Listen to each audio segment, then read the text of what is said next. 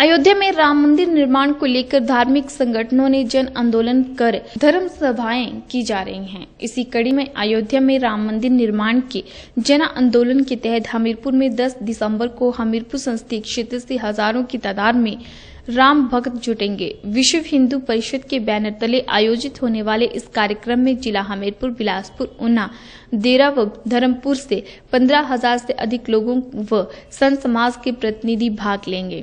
गांधी चौक पर होने वाले इस सार्वजनिक कार्यक्रम के बाद हमीरपुर के सांसद अनुराग ठाकुर को ज्ञापन सौंपकर केंद्रीय सरकार से मंदिर निर्माण की दिशा में ठोस कदम उठाने की मांग की जाएगी।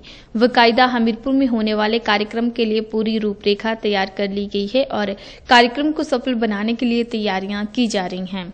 बिलासपुर विभाग के बजरंग दल के संयोजक अनिल शर्मा ने बताया कि 10 दिसंबर को हमीरपुर गांधी चौक पर अयोध्या राम मंदिर निर्माण को लेकर धर्मसभा का आयोजन किया जा रहा है, जिसके लिए तैयारियाँ पूरी की जा रही हैं। उन्होंने बताया कि धर्मसभा के दौरान हमीरपुर संसदीय क्षेत्र के विश्व हिंदू परिषद, बजरंग दल और हिंदू संगठनों के हज़ारों लोग हिस्सा लेंगे।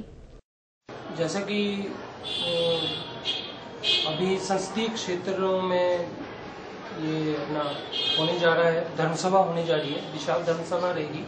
तो हमीरपुर संसदीय क्षेत्र की जो धर्मसभा है, वो 10 दिसंबर को निश्चित की गई है गांधी चौक में।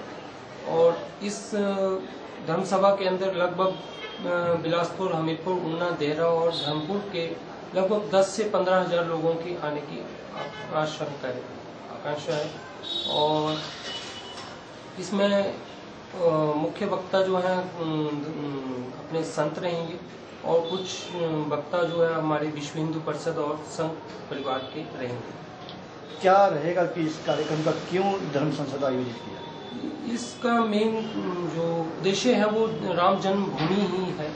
क्योंकि माननीय न्यायपालिका से जो हमारी आस थी तो हमारी आस बहुत ही न्यायपालिका के प्रति। परंतु न्यायपालिका ने मात्र तीन मिनट इस मुद्दे को सुना था जिसमें जो राम मंदिर की पक्ष की तरफ़ से वकील को सुनने का मौका भी नहीं दिया उन्होंने। तो माननीय सर्वोच्च न्यायालय के मुख्य न्यायाधीश का कहना है कि ये प्राथमिकता का विषय नहीं है, जबकि ये विषय लगभग भारतवर्ष के सौ करोड़ हिंदुओं से की आस्था से जुड़ा हुआ विषय है।